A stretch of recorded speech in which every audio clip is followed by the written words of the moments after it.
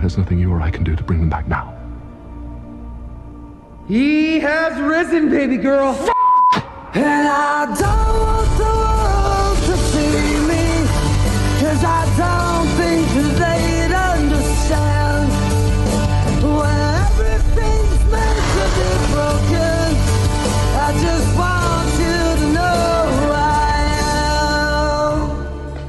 Found your new anchor being. And we're doing just fine, you piece of shit. Fine indeed. All right, put your greasy tits away, you preening slut.